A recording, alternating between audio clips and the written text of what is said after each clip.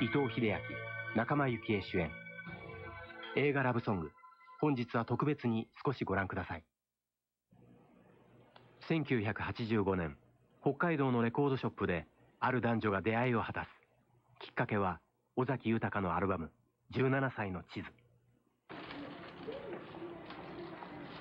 あのはい。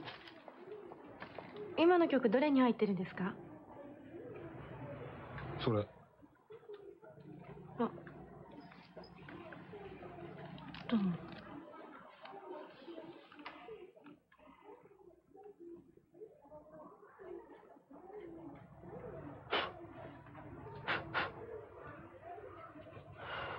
あのこれください。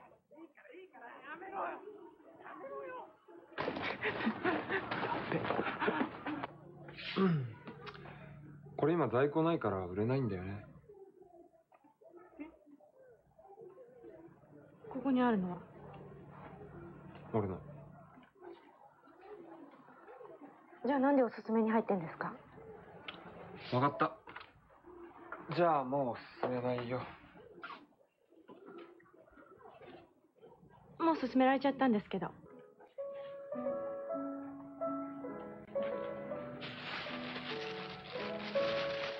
毎度。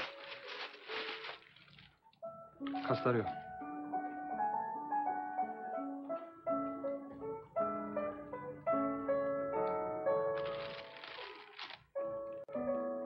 ちゃんと返しに来いよ。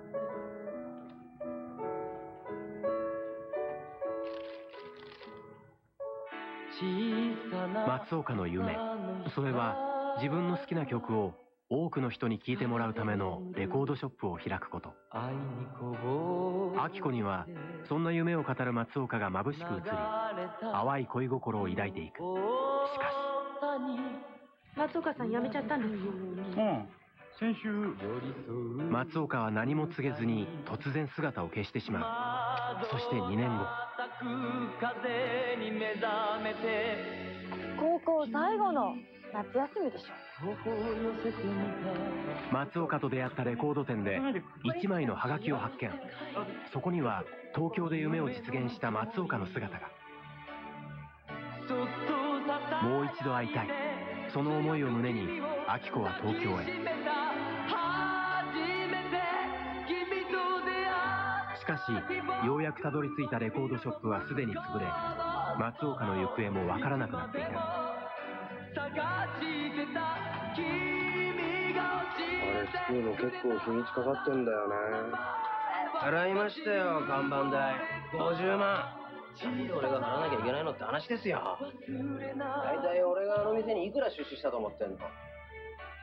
知人を訪ねて回るがそこで聞く松岡の話は決して良いものではなかった不安な現実が明子を襲う。誰か話し相手が欲しかっただけかもしれないけど。それでも松岡を探し続ける明子は最後に尾崎豊のコンサートが開催される。有明コロシアムで待つことにした。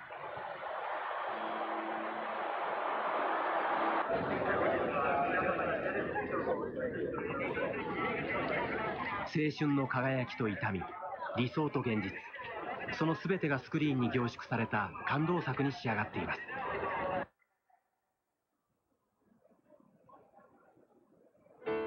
そんな松岡を演じる伊藤英明さんに今回の役どころを語っていただきました。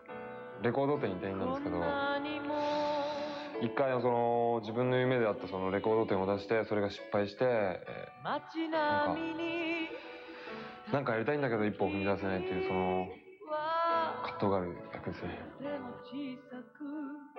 私は甘いとはそしてその松岡に淡い恋心を抱く明子役の仲間由紀恵さんには演じる上での心がけと映画について語っていただきました。でもね今回の映画は私は勝手にいろんなところで青春映画だって言ってるんですよ。すごく素朴なお話だと思うんですよ。で純粋でまっすぐすぎるぐらいまっすぐで。うん。だから役とかもあんまり多分他の方たちもそうなんですけど作り込んだりとかせずによりナチュラルにシンプルにしていくことを心がけてましたね。そんな2人が捉える尾崎豊とは？歌い方とかもきっと印象に残る歌い方だったと思うんですけどもう言葉とか思いが本当に心の底から腹の奥から出てるみたいな感じがして衝撃的ですよね。素直素直すぎる、まあ、そういう人だったと思いますよね本当ピュアで繊細で素直な人だったんだなと思いました